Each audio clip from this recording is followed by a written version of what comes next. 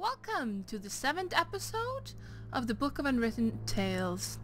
We'll be here to carry on with our playthrough through this marvelous game with our little elven girl. Hmm.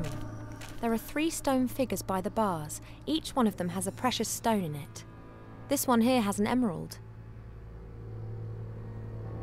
This figure looks a bit like a dog. One of its eyes is a large ruby. This bird has an eye made out of a blue precious stone. I think it's a sapphire. Shiny. We like shiny. You do, Guess you- even a secret cellar is in the end just a cellar. And all cellars have gardening tools such as these gardening shears. Oh, oh, oh! We can we can probably use this on the wines outside. Come on, take him. As long as I'm not expected to do the gardening now. Yeah, sure, sure. No, no, of A course not. A small circular opening in the ground. It's decorated with an ancient script, just like the picture on the wall. Mm, A small cir- mm. Ah, I see. a small fat figure. She's holding a mirror above her head. Looks ancient. Wait. A picture on a stone slab.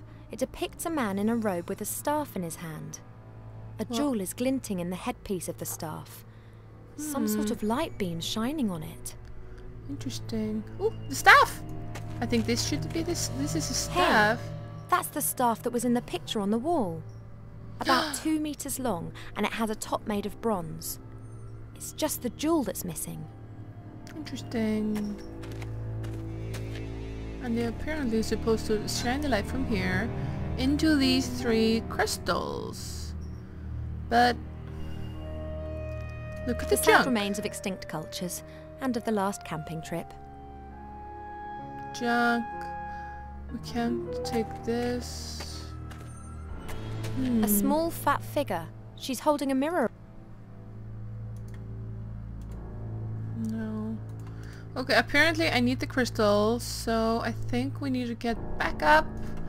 Because I think we need to use the shears on the wines outside and maybe that will reveal something. Because I don't remember seeing any crystals around. Hmm. Let's see. Gardening shears on the un over I don't undergrowth. believe it. Now I've ended up doing the gardening. Well, excuse me, girlfriend. We need to solve this It is indeed a gravestone. We need to rescue the dude. Gremlin A little gravestone made of granite that's got Kinski inscribed on it. Mm, A little gravestone. okay, that was useless. Hey, maybe we can use the staff to open the wooden cover. Come on, open.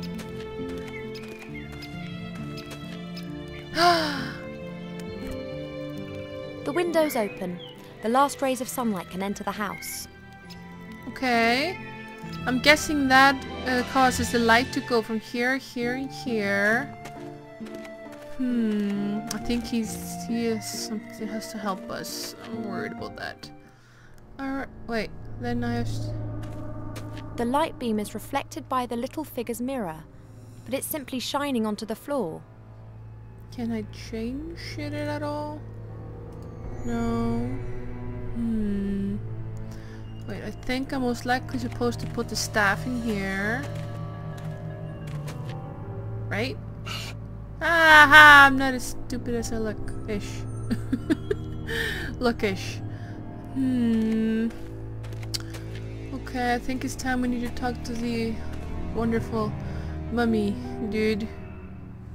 Cause I'm gonna regret this. I just know I am.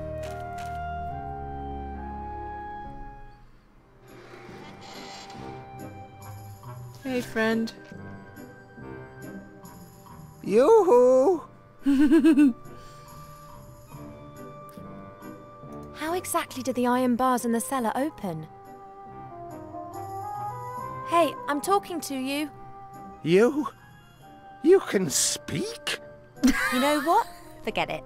I'll work it out for myself. No, no, no. I'd rather search through every nook and cranny of this house than inflict any more of these conversations upon my elven ears. God damn it. You? You can speak?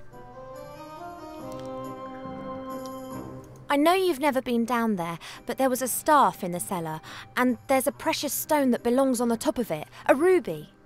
Do you know where it is? But of course, Mortimer. You asked me to hide it for you. Don't you remember? Uh, I I must have forgotten about that. Oh, what would you do without me? Could you please just give it to me? I just need it for a second. What? The jewel. And before you ask, I mean the stone that you put somewhere safe for mo- uh, me. And please don't tell me that you've forgotten. How could I forget that?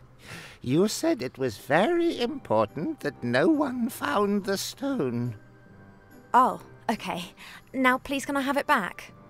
Why would I give a complete and utter stranger Mortimer's stone? I want to hit him. But I am Mortimer. Don't, don't be ridiculous. You're too tall, too thin, too hairy, and you have those.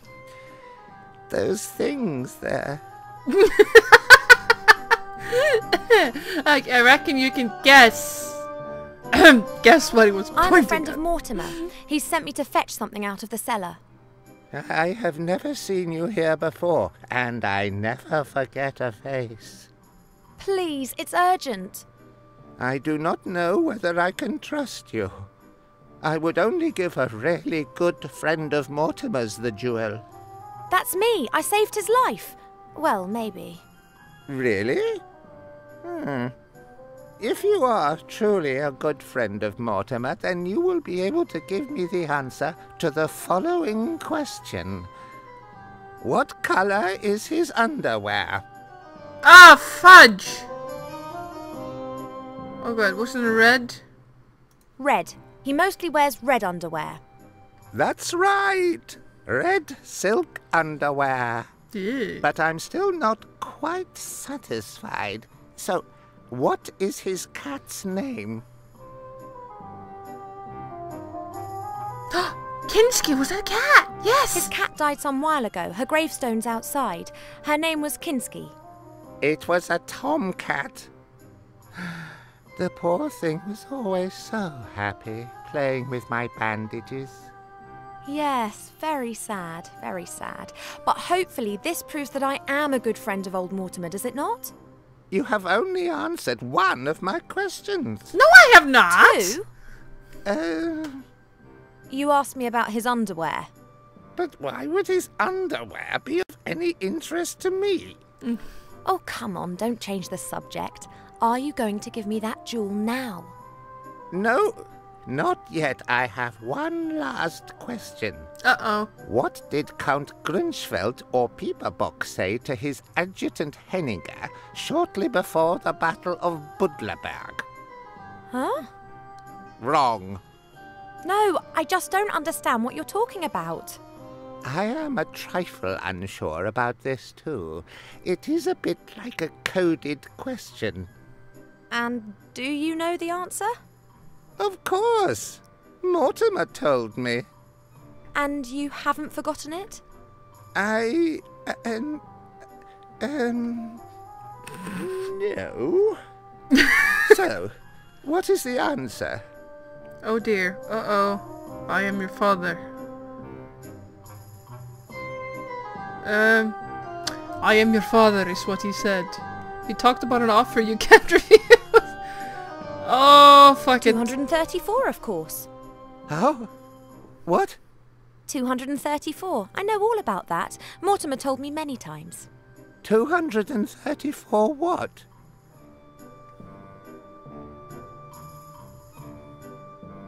you don't know, but surely you have How to... can anyone who is a good friend of Mortimer not know that? Oh, yeah. But you could how? go- What? 234. Mortimer never told you that. Well, yes. 234? In your face. So it turns out that you aren't such a good friend after all, then. If you don't even know anything about the 234. Oh. Oh, that! You mean that 234? Yes, exactly. With that Sorry. thingy? Precisely. I see that you are a good friend of old Mortimer's after all. Of course. Splendid! Now that you've proven that, can you give me the jewel? At last. Yeah. Thanks. Many thanks. Uh, you're welcome. Yeah. Well, hopefully that is the last of our chatty, chatty, chatty Cathy with that little bugger. Oh god. But yeah, you know, when you're dealing with someone as confused as him, just confuse the hell out of him in your turn. That should do it.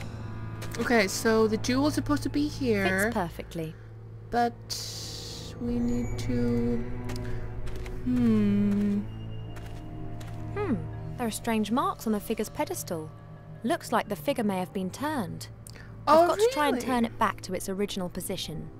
Yes, you do. Come on, turn it. Mm, one more. Okay. Fine. Two more. Yes! Woo! Excellent, the path is clear. Di-di-di. I am so smart. I am smart. As somebody. As somebody. This must be the secret book. Oh, it's been written by hand and there are several pictures. Yay, There are a few words written in orange ink. That doesn't exist, does it? The artifact of divine fate. This is serious. I should get this book to the Archmage as quick as I can. As long as I don't bump into the sorcerer or his troll, I should manage to make Seastone by midday tomorrow. Hm, shouldn't be a problem. We're gonna run into him, aren't we? Yes, we are. Of course. Um, run, little elf. Run. Ah! Ah! What? What? Oh, dumb woman. Elf thing. Whatever. Whatever.